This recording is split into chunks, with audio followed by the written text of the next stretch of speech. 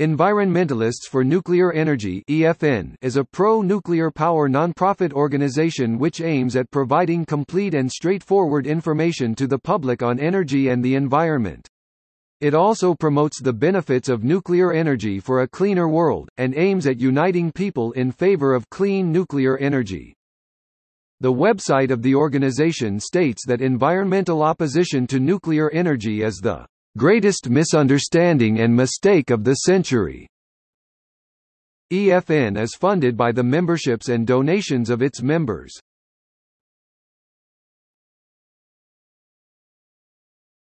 Topic: History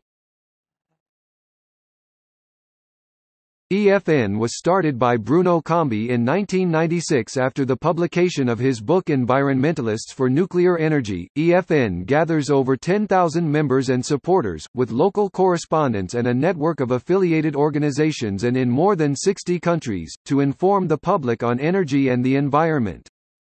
Patrick Moore co-founder of Greenpeace in 1971 and James Lovelock author of the Gaia Theory, considered as the historical founder of environmental thinking are supporters of the group.